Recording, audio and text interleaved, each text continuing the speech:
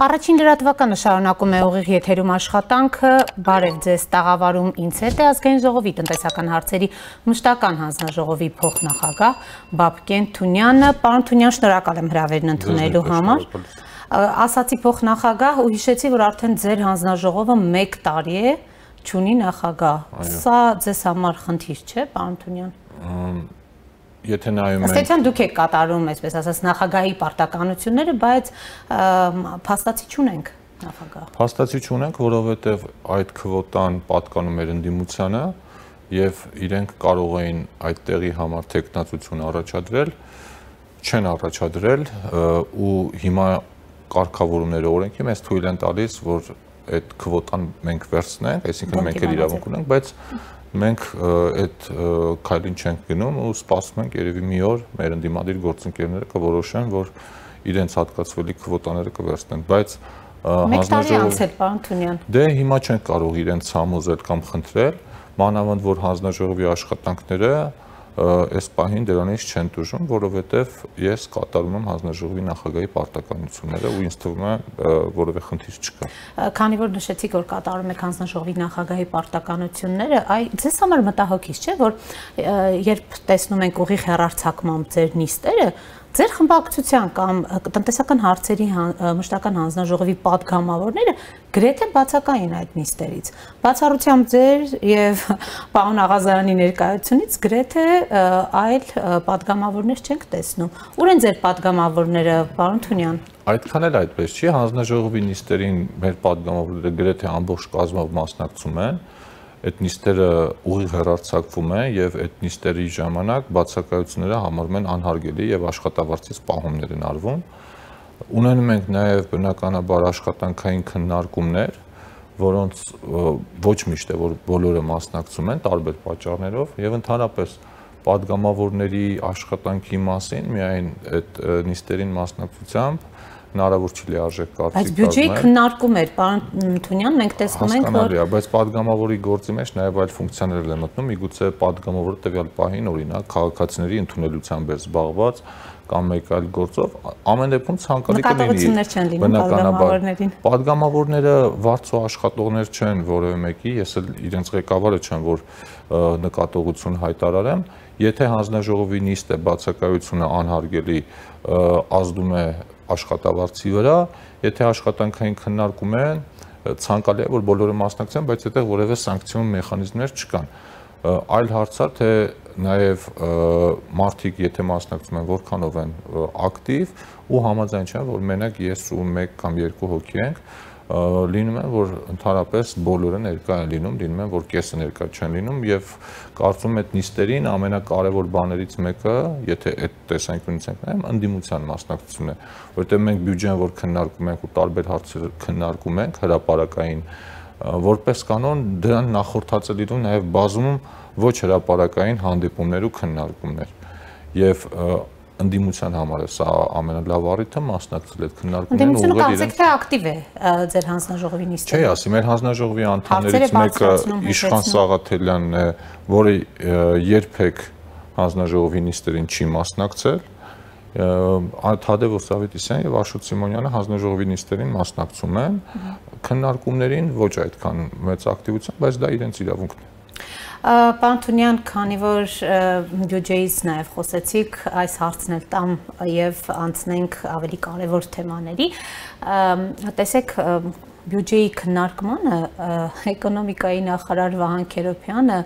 ինքն էլ չիմանալով, որ ուղիղ եթերով հերարցակվում է ամբողջ նիստը, այսպես բաց թողումներ արեց կամ տեղեկատվական հոսքեր թույլ տվեց, նշելով, որ քննադատեց նախ ֆինանսների նախարարությանը, որ ըստ էության արգելակում է բարեփոխումները եւ այլն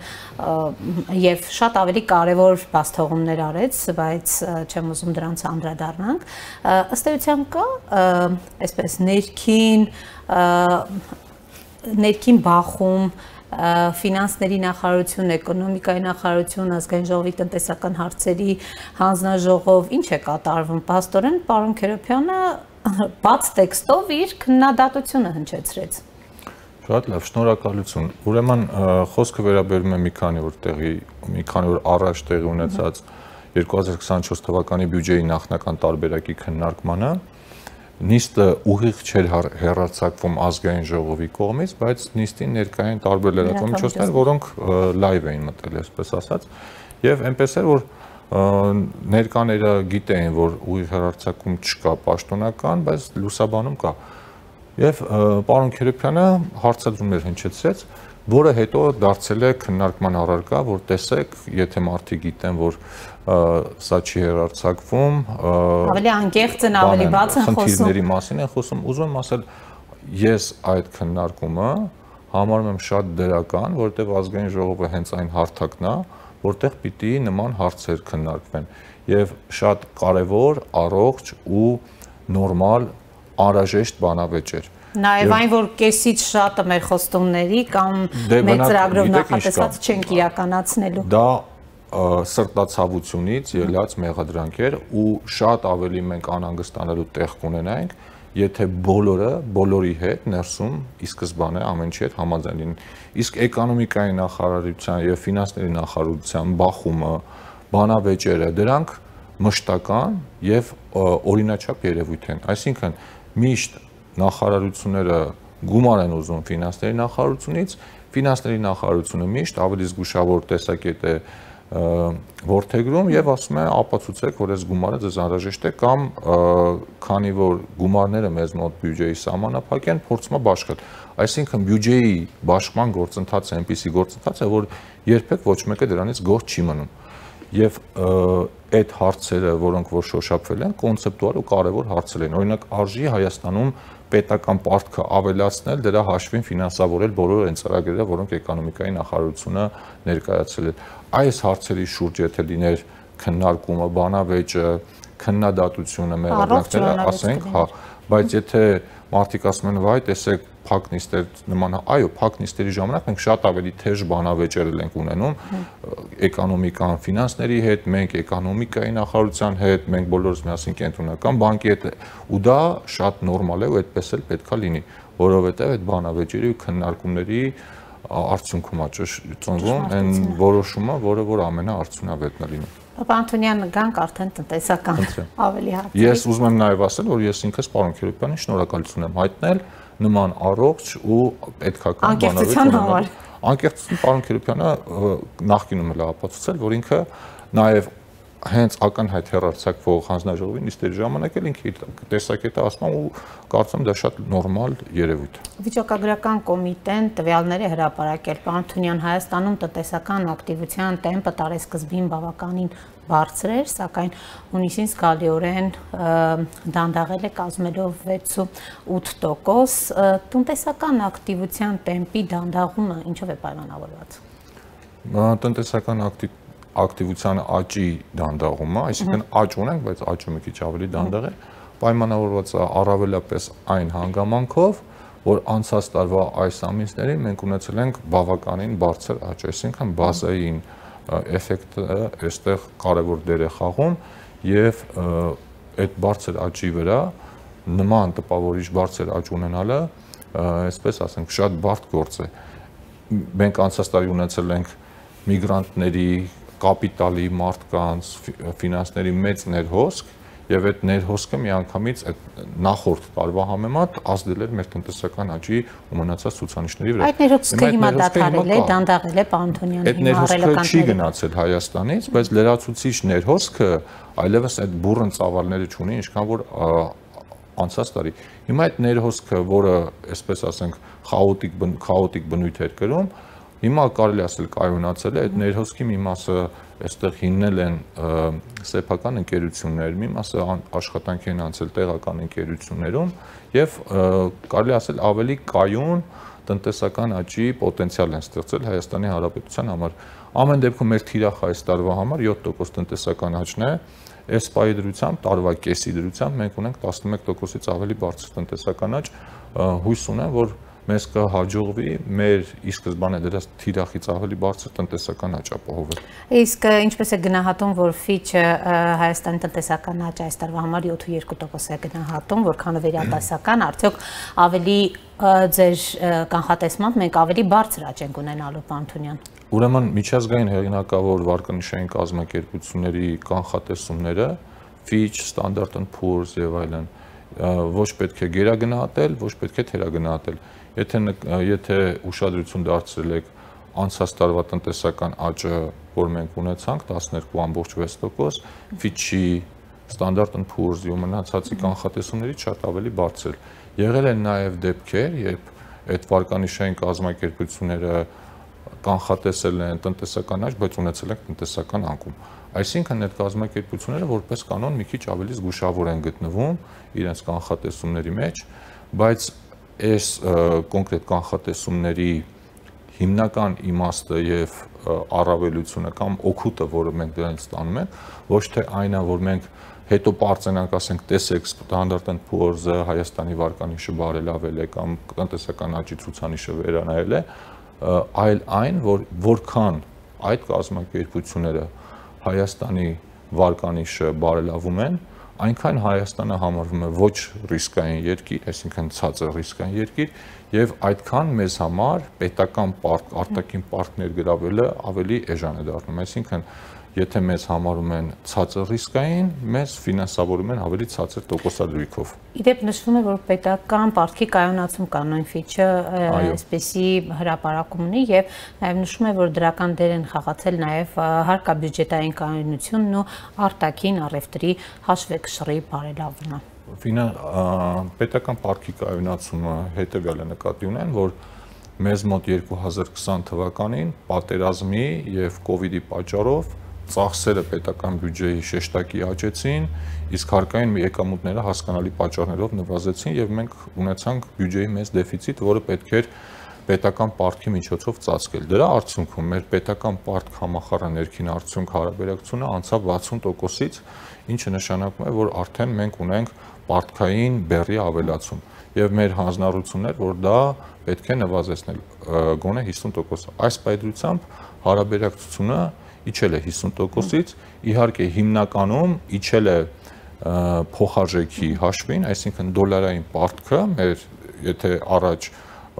արժեր X դրամ, հիմա արժի X-ից ավելի պակաս դրամ, այսինքն եթե վերածում ենք դրամի, բայց միայն փոխարժեքի էֆեկտը չի, նաև տնտեսական աճի էֆեկտն է, որովհետև մեր համախառն ներքին արդյունքը մեծացել է, պետական պարտքը դրա համեմատ փոքրացել է։ Իհարկե բացարձակ թվով մեր պետական պարտքը աճում է, եւ դրա հետ կապված երբեմն որոշակի շահարկումներ են լինում, որ պարտք են կավելացվել, բայց ելի եմ կրկնում ցուցանիշը, որի վրա պետքա հիմնվելու դատողություններ անել, ոչ թե պետական պարտքի բացարձակ մեծությունը, թե քանի միլիարդ դոլար է, այլ պարտքի եւ քո տնտեսության կարողությունների համեմատությունը։ Եվ եթե դու կարողանում ես պարտք ներգրավելու այդ պարտքը արդյունավետ օգտագործել քո տնտեսության համար երկարաժամկետ աճի հիմքեր ստեղծելու համար, ապա նման պարտքից հրաժարվելը ուղղակի անթույլատրելի շռայլություն է։ Պարոն Թունյան, ազգային ժողովի նախագահ Ալեն Սիմոնյան այսօր Facebook սոցիալական ցանցում գրառում էր արել եւ ողջավորությամբ նշել էր, որ Վրաստանի եւ Ադրբեջանի համեմատությամբ Հայաստանը առաջատար է տնտեսական աճի տեմպերով եւ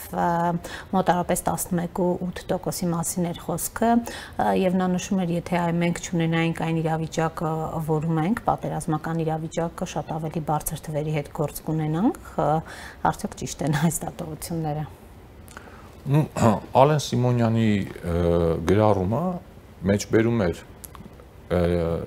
ինչքան հիշում եմ վերլուծականներից մեկի համեմատականից, որտեղ Հայաստանի, Վրաստանի, Ադրբեջանի ցուցանիշներն էր։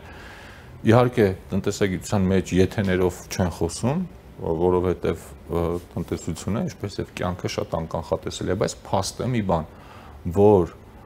սահմանային անվտանգությունը, պատերազմական իրավիճակը, արտաքին քաղաքական ու ներքաղաքական կայունությունը ազդում են նաև տնտեսական իրավիճակի ու ներդրումների վրա։ Այսինքն, եթե Հայաստանում մենք ունենայինք սահմանային անվտանգություն, պատերազմի ռիսկի բացակայություն, ապա համոզված կարելի ասել, որ դա կնվազեցնի ռիսկը եւ պոտենցիալ ներդրողները, որոնք ցանկանում են Հայաստանում ներդրում անել, իրենց քանակը շատ ավելի մեծ կլիներ։ Դա դասագրքային ճշմարտություն է, ու Ալեն Սիմոնյանի ասածների մեջ այդ առումով կեղտ գտնել չի կարելի, որովհետև մասնագիտական առումով ես պատրաստ եմ Ալեն Սիմոնյանի ասածը ապացուցել ցանկացած մարդ։ Ինչով է պայմանավորված Ադրբեջանի եւ Վրաստանի նկատմամբ այս առավելությունը մեր տնտեսական աճի ռուս-ուկրաինական պատերազմով դարձյալ։ Ռուս-ուկրաինական պատերազմը հավասարապես ազդել է մի շարք երկրների համար, այսինքն այդ հոսքերը, որոնք այդ պատերազմի արդյունքում դուրս են եկել Ռուսաստանից, ուղղվել են մի քանի երկրներ, այդ թվում նաև Հայաստան, Վրաստան, Թուրքիա, Արաբական Միացյալ Էմիրություններ ու երբ մեզ օրինակ ասում են, որ ձեզնից ոչինչ կախված չէ եւ այդ հոսքերը այսպես թե այնպես գալու են, տեսեք Վրաստանում էլ է այսպես եղել, մնացած երկրներում էլ է այսպես եղել։ Այ Ալեն Սիմոնյանի վերած վիճակագրությունը ցույց է տալիս, որ այնպես չի, որ կառավարության ջանքերից ոչինչ կախված չի։ Եթե բոլորի համար այդ ազդեցությունը նույնն է, ապա Վրաստանում նույնպես պետք է տնտեսական աճը բավականին բարձր լինի։ Սա խոսում է նաև Հայաստանի Հանրապետության կառավարության կողմից իրականացված ճիշտ քաղաքականության մասին։ Ու շատ մի կարևոր հանգամանք էլ պարոն Սիմոնյանի բերած օրինակում խոսում էր ոչ միայն տնտեսական աճի, այլև գնաճի ցուցանիշի մասին, որտեղ երևում էր, որ մի կողմից Հայաստանում տնտեսական աճը ամենաբարձր տեմպն ունի, մյուս կողմից գնաճը ունի ամենացածր տեմպը։ Գեիշը գնաճի առումով էլ մեզ մոտ անցած տարի բավականին բուրըն քննադատություններ կային, եւ որքան էլ որ մենք ասում ենք, որ գնաճային երևույթները համաշխարհային ֆենոմեն են ու միայն Հայաստանում չի, բնականաբար մարդկանց վիճակը դրանից չէր թեթևանում։ Այս տարի հաջողվել է գնաճը հասցնել թույլատրելի մակարդակին եւ հենց այսօր կենտրոնական բանկը արդեն երկրորդ անգամ վերաֆինանսավորման տոկոսադրույքը նվազեցեց, այսինքն գնաճի դեմ պայքարելու համար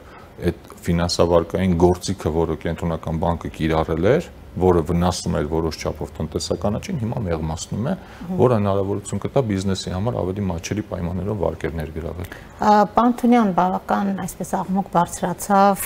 200 դատավորների աշխատավարձերի բարձրացման հետ կապված շուրջ 60%-ով կբարձրանան դատավորների աշխատավարձերը, այդ դուք ինչ կարծիք ունեք, արդյոք 60%-ը ով է որոշել այդ չափը, ճիշտ է թե ոչ, ընդհանրապես արդյոք միանգամից այդպիսի բարձրացում պիտի տեղի ունենար եւ առհասարակ դա որակական ինչպիսի ազդեցություն է լինելու դատավորները ավելի անկաշառ են դառնալու, արդար վճիռներ են կայացնելու, դուք այս քաղաքականությունը որքանով եք ճիշտ համարում Շնորհակալություն։ Նախ ուզում եմ ասել, որ Հայաստանում երբեք չի եղել պետական ոլորտի կամ իշխանության ճյուղերի որևէ թևի աշխատավարձերի բարձրացում, որը որ քննադատության չի արժանացել ոստիկաններին, քննիչներին, դատավորների, դատախազների,